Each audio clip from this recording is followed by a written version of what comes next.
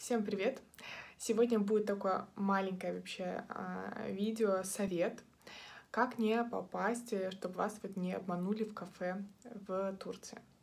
Во-первых, я, например, вчера столкнулась с такой особенностью, что когда ты приходишь в кафе, заказываешь завтрак, он только на двоих человек.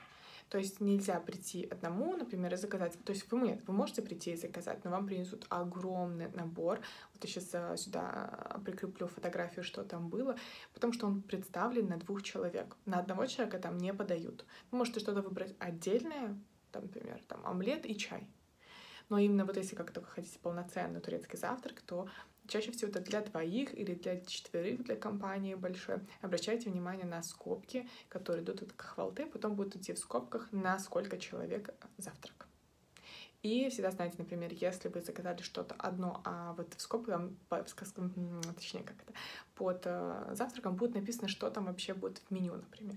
Если вам принесли больше из другого какого-то варианта, до того, как начать есть, вы можете отказаться, сказать, я это не заказывала, я заказывала что-то другое, потому что все время они хотят будут вам продать, само собой, дороже.